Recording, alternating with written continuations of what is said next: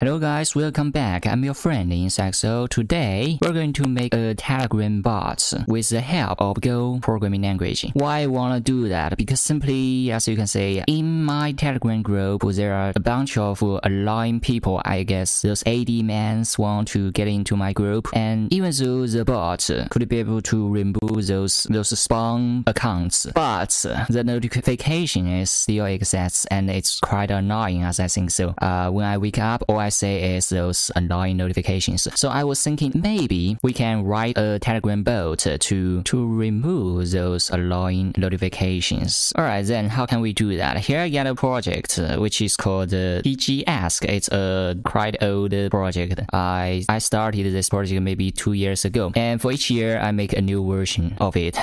and for now, I just thinking that maybe I can use a Go programming language to rewrite this project. Okay, um, this is what I'm gonna. I'm going to use a Go Telegram bot framework. Uh, to do that, first I should show you how can you initialize a Go project. I will assume that you have the Go binary or uh, the Go package installed. If you don't, you can just do it with a simple sudo apt install Go. I guess that would give you a fresh installation. Or maybe you can try Golang. Yeah, that's right. You could install the Golang programming language with this command, sudo apt install Golang. Then after that, uh, you probably probably, uh, let's say what you can do. Oh, you could use Go mod initiate with your GitHub address with your project name here. Uh, for mine, it is TG ask. For you, it can be anything else. After that, you should be able to get a Go mod. It will save some dependencies information about your project. Then after that, you should create a main Go file, which is this one. And it looks like this. This is uh, actually the entry point of our Golang program. Okay, after that, let's uh, let's install the Telegram bot uh, framework. It can be done with one simple command. Okay, it's done. Um, now if we go back and uh, check out the Go mod, you should be able to say the requirement already been in been written to the requirement uh, link. So this is good for others to use your project without worry about the dependencies stuff like like some other programming languages. For example, the C++. It's uh, quite boring and stupid for you to manually handle those dependencies in C++, but uh, but they probably get used to it. Uh, but for Golang, it can be as simple as this. So it's kind of a good language for its great uh, dependencies handling, machinizing. Okay, enough talking. Let's just copy this code. This is a basic code for the Golang programming, uh, for the Golang Telegram uh, stuff. Let's just uh, paste it into here. Okay, uh, I think this is good enough. Mm -hmm. First we got, or let's say he just defined a bot with the talking. I don't know the talking yet. I'm going to I'm going to look for it. Uh, for example, as you can see here in the Telegram, we got a BotFather. Uh, this is a visual bot for Telegram. With this bot, you could be able to create your your own bot and get the talking, as you can see here, talking. Uh, that's very important for our program. Uh, but you can change the talking whenever you want. Uh, here's one thing to remember: do not leak this talking to others. I will change this talking after this tutorial, so don't worry about me. Alright, now I got the talking in my code. Then let's go on. Uh, what it did is to take the new updates and do a loop. Uh, actually, this is the only thing that matters uh, inside of this loop. It will keep checking the update image. If the update image equal to none, uh, we continue. If it's equal to something, it will probably, let's say, create a new message with uh, uh with the chat room or the Telegram group. Uh, then with the message itself, it's, it's, it will just do a reply. Um, and for this case, it will use the bot uh, instance to send a message out. Okay, let's just, uh, uh no, I need a new terminal. Okay, let's just uh, run this bot. Here I'm using F5, but you probably will not have the F5. So uh, what you should do to run it, you should say go run main.go and it's running. Okay, since, since it's running, uh, let me just, uh, oh, it says failed to get update terminated by other get updates require request. Make sure that only one bot instance is running. Hey, I probably got some problem with my server. Uh, it's probably due to the server of mine. Oh, here we go. Uh, we got a server called TGAsk running in my server. That could be a could be a problem. How can I stop it? Okay, I just want to say dark.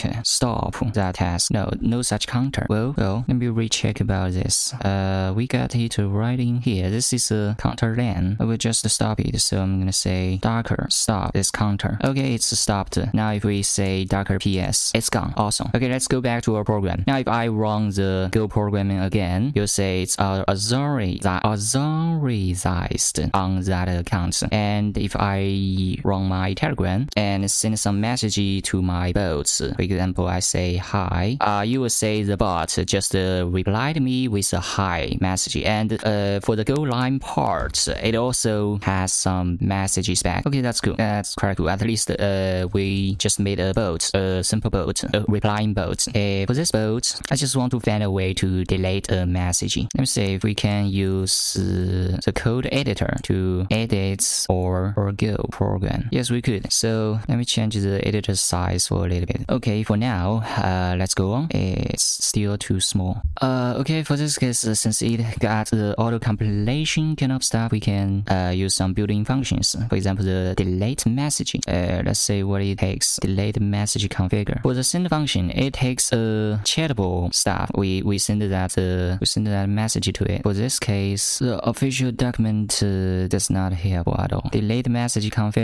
It's a structure. It takes a chat ID and a message ID. Okay, then let's try to uh, initialize a structure like that. The chat ID will be update message chat ID. Then the message ID update the message that ID. For this one, it should be probably this, and it takes two arguments. Undeclared. The update message ID is undefined. It's probably right uh, because we have to say message ID. Okay, for this one, what's happening? Compose literally uses unkeyed field. That's an error. Uh, will that be a problem or not? I don't know. So let's just uh, uh, try to run this, this code. It seems like we don't have any. Uh, it doesn't matter for that warning. So I'll send a message out. Oh, as you can see, when I send that message out, my message would be deleted immediately when after the, the bot received my uh, message. But uh, here's the problem. His own messages are still there. I want to delete it too. How can I do that? I could just add another line of code. I say delete message with the chat ID and the message ID. For the message ID, should be it should be msg dot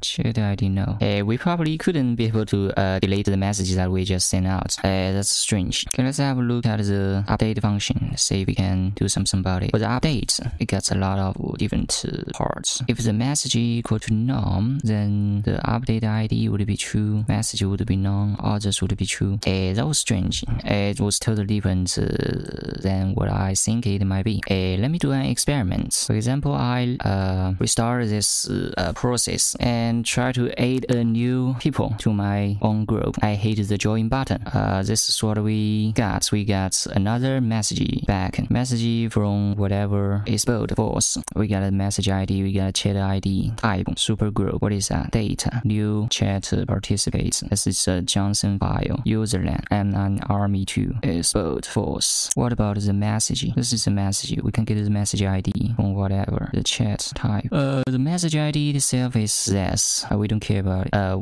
uh, no, we do care about the type of this message because we would rely on it to do some processing. But this structure does not uh, very helpful. Okay, I think I got an idea for this kind of uh, work. So all we have to do is to check about the text. If the text here equals to none or equals to nothing, we delete that messaging, Right? Can be as simple as that. So let's comment this out. We need at least one function. Golang check if a string is empty. Mm, I'll use this one. So if the length of update message text equal to zero, which has no, which means it doesn't have any contents, then we delete that message. So this is the basic logic of our code. Now let's uh, run it again. For now, our group has no notifications at all. Uh, but if we add some members to it, for example, you can add A or add whatever to it. We add it to it. When I add it, that uh, message would be deleted immediately. Uh, so for this case, we have reached the uh, the end of this tutorial. we have successfully, uh, we could be able to successfully delete those notifications while still remain the functionality of normal image sending. For, for example, we could say good morning and this message won't be deleted. For example, now if I remove two members of that uh, phone or group, uh, there has no notifications at all. If I add two members to my group, as you can see, the notification would be deleted immediately. So that's good. Um, I just uh, reached my goal. So Golang is somehow usable if you uh, want to use it to do some simple project. Simple project, as I said. Even if I um, don't know much about this language, for example, here I got an error, but I don't know how to. I don't know how to solve it actually. How about we say chat ID with something like that? Chat ID and uh, message ID. And for this case, if I add the chat ID and the message ID, the error is just gone. So uh, this probably is the solution for that error. So we made it. We just made an Telegram bot without any error and working as, as we expected. So it's good. So um, how can you actually compile this uh, Golang program? You probably could say go build and it's done. Uh, when it's done, you get a binary file, which is a tgask, the green one, this binary file. How can you run it? You could say tgask and boom, it's running. So this is Go, the powerful one. The only bad point about Golang is that um, one, it doesn't have a class stuff. It's a simple language, and also it's uh, it's a it's a young program language. It doesn't have a lot of libraries, and it's hard to reuse some C or C++ code code with uh, Golang programming language. And the most important part about this is that it's hard to uh, interact with the Python. Even if you could use Golang to make a library, then uh, you use Python to import it, but you can make it as a as a Python package and publish to the public. Uh, you can only install that Golang or uh, Golang kind of stuff on your user's computer. That's totally insane. Your user doesn't know anything about the Golang. Um, okay, that's today's tutorial. I will I will link uh I will link this project and my own project, the TG Ask, uh, under the video in the description. And I hope you enjoy this video. I will see you in the next time. Bye.